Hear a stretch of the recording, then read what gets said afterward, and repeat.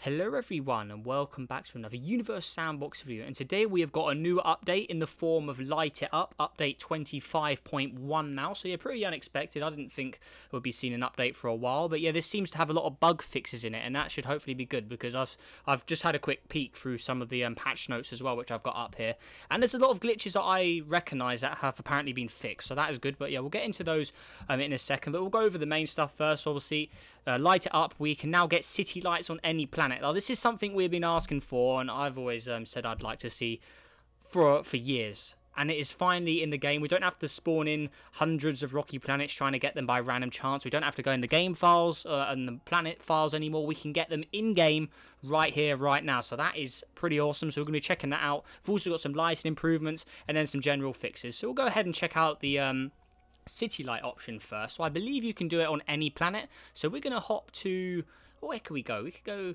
Let's, let's just use Pluto, actually. Let's, this is good old Pluto, actually, out here. So, we can head all the way over here. So, obviously, very, very dark. So, it could be quite a good place to do the city lights. So, if we go to Appearance, right. So, City Lights. Okay. So, on.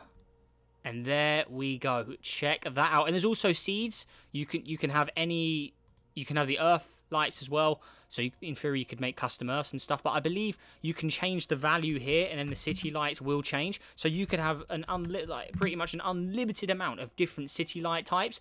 Now that's awesome.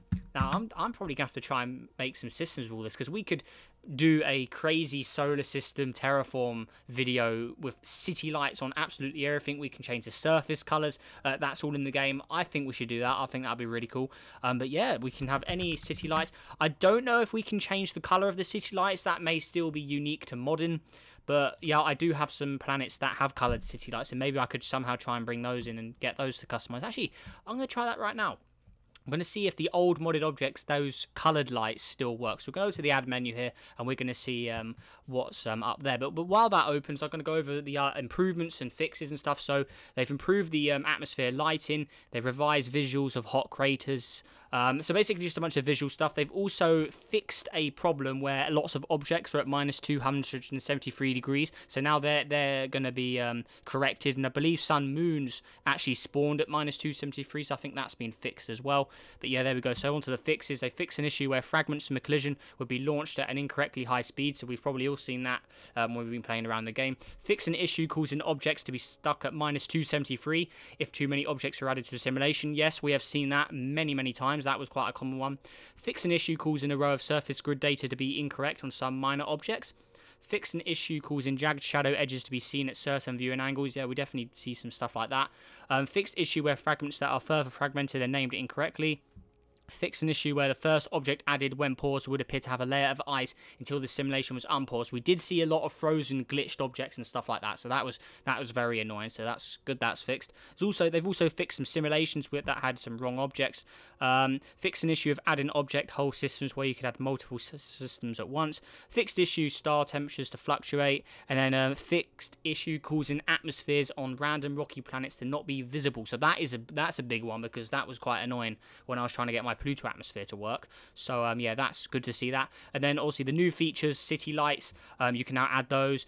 Um, there's a blog button on the main menu, and yeah, randomized city lights. That is really, really cool. And yeah, just a bunch of fixes with the tools and gravity settings and, and things like that. Also, if you guys have got the game, you can read the um, patch notes on Steam as well. So yeah, that's um, with that all out the way, we can get into the um, interesting stuff now. So we're gonna have a little experimentation around the game. We're just gonna see um, see what we can do. So I'm gonna go to the custom. So I'm gonna use Trantor here. This one's a good example. So this one has red modded city lights, or it should have and it still has a tint on it. So if I, so the city lights are down at the moment. If I re-add them, we should have coloured lights. So illuminate always. So okay, so city lights on, and there we go.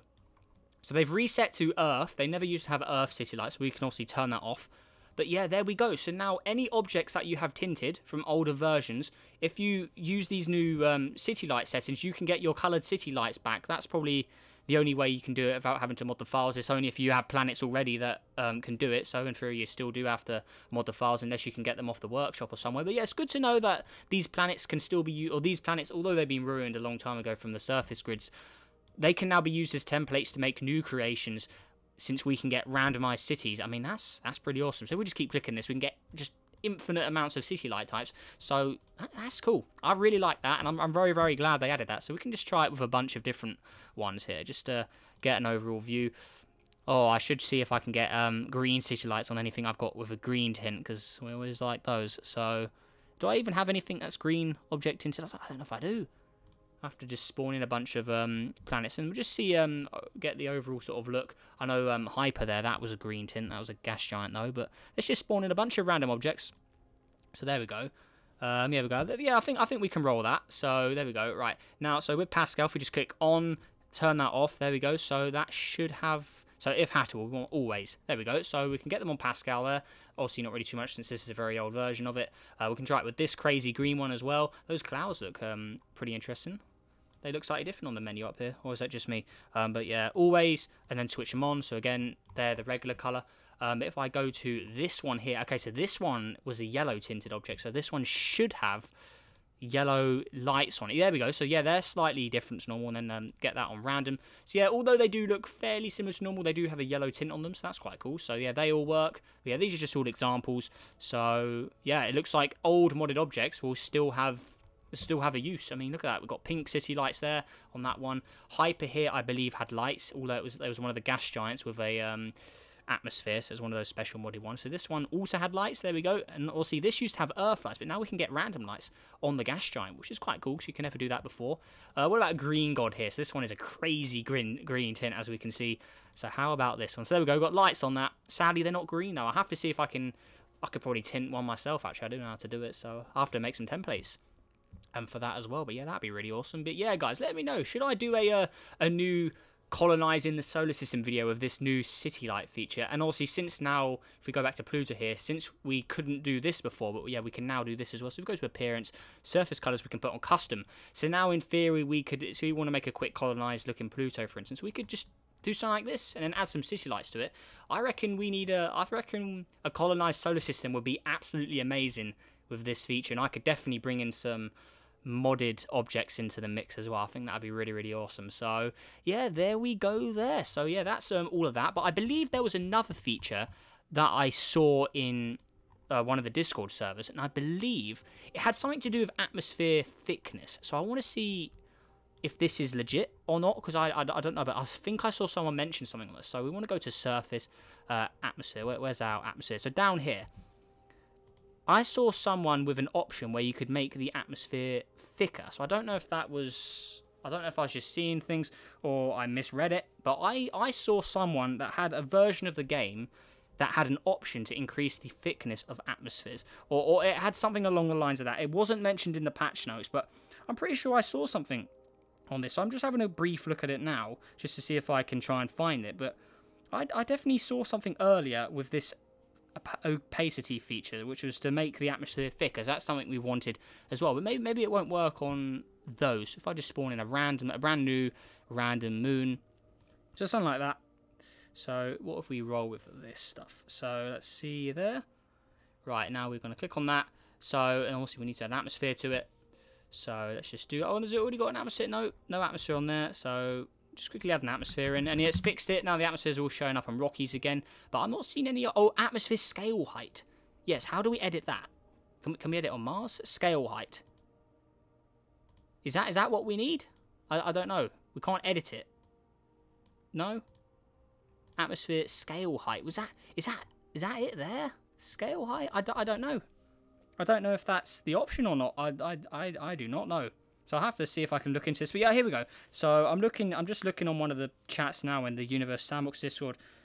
And yeah, oh, okay, so it was, you know, they were just showing it maybe it'd work. Okay, never mind. That's just me being silly. I misread it. So yeah, this option here though, this scale height, that didn't used to be there. So maybe we'll eventually get an option where we can increase the thickness of an atmosphere. So in theory, we could turn, so if I was to get a green, just one of the green, so yeah, one of the green objects for instance. So if I just had a, a brand new green atmosphered object here.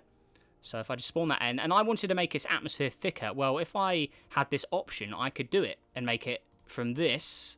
So that one also you can see down to the surface. I know it's very, very green, but yeah, trust me, it is that's got the basic um, surface under there. So we just make it. There you go. So you can see you can see straight to the surface with a very, very thin lime green atmosphere. But with this one, this one's completely completely thick. I mean, you can see that atmosphere is very, very thick. I can change the color of the surface all I like. You cannot see it through the atmosphere. So may, maybe this option down here Maybe, maybe, maybe we'll be able to change this at one point and increase the level of it to get something like this. Maybe I, I don't know, but it seems like um, that's still um, up there. But yeah, never mind. So that's not actually in the game. That's just people um, or suggesting it in the server. See, I did misread that there. But yeah, really, really cool stuff. And I'm um, yeah, up the city lights. That is definitely obviously the highlight of this because the rest of it is all bug fixes. But yeah, that is. I'm, I'm good to see um, bug fixes because yeah, the game right now it's it's not been in the best state it's ever been in. That absolutely it is. It's, it's seen better days. I'm sure we can all agree on that. But hopefully with these bug fixes, it will get rid of some of the ones that are almost making it unplayable because some of the glitches we have came across, and it was in some of the recent videos where we had this really weird glitch with Earth, like flashing on all of the planets and stuff. It was one of the, one, the, one of the recent ones where we um, put two suns in. I think it was that video, and yeah, it just had crazy glitches with Earth. But yeah, hopefully that would all be fixed now, and just silly things like that. I mean, that was more of a funny side glitch, but the glitches where objects are constantly frozen and all that, they claim it's fixed, so I'll take their word for it. And yeah, that's that's um, good news. So yeah, if we can, um, maybe if I just open up a simulation, so I know a lot of you guys' custom systems, I know those seem to be broken sometimes. The objects are sometimes frozen in those. So what if I try... Actually, I'll, I'll just open, I'll open one of my simulations here. So if I go in here, were all these objects broken? Okay, I'm not sure if they will. Maybe, maybe the bug fixes will fix it, but yeah, maybe that's a a bad example there, but I want to try and find a simulation where all the objects were broken because we, we definitely had a lot of those. So if I just try the Blossom system here again, because I think this was one um, that had a lot of like really, really cold objects. So let's just see if it would open. Okay, there we go. So this is one of you guys' systems. So let's see, let's see the settings. So maybe any any broken objects? Uh, it looks like when you want to find them, you can't find them now. Or maybe it's just because the game actually fixed it and they've actually removed those minus 270 glitched objects. But yeah, we all saw it anyway, so yeah, I'm, I'm going to stop um, acting like a fool trying to find it when I, I don't know the simulation they're in. But yeah, we all saw it where objects were just completely frozen at minus 270, so hopefully that has fixed. That, oh, that's all fixed now, so we won't see anything like that anymore. So I'll see this object right here, it's at minus 270, there's no stars, but as soon as we add a star in, it should it should just start warming the planet up with no problems. So there we go, our stars in here, so, okay, so minus 270, but we should start to see that increase. So, yeah, so they say it's fixed with the minus 270 stuff. So, if we put it to zero degrees, there you go, it warms up. Because sometimes you do, or it is still going down. But, um, yeah, it should, um, it shouldn't go all the way to minus 270 now since it is getting that starlight. So let's just let's just have a little experiment here. Let's see. Okay, so yeah, there we go. So we're seeing it's not going straight down, but we'll have to really just let it let it go, and let, we'll just have to see if it goes to minus 270. Then the glitch may still be around, but yeah, we can see it sort of peaking out at minus, uh, 90, minus 88, minus 90 there. So we can see yeah, the glitch isn't around. It's just because we picked quite a, a, star that wasn't really too powerful. But I'm pretty sure if we uh, increase the power level of this guy, so if we put it up to yeah, this is a very dim star. If we put it to five suns, then we look at this. Yeah, that yeah, okay, so we're seeing we're seeing some um, good improvements already because yeah, those frozen objects, no matter what you did to them, they still stay at minus 270, but at least they can warm up with stars and stuff now. So hopefully the game performs like this all the time, um, where we don't see any of that trouble anymore. Because yeah, that was that was quite frustrating for a lot of people trying to make systems as well. I saw that yeah you just couldn't you couldn't get planets to temperature you wanted. You you could tweak around with the atmosphere all you want. You could put it to 180m you could get the albedo exactly how you want it. You could put it as close to the star as you wanted it. But it's still staying at minus 270 but it's good to see it um, that appears to be fixed now.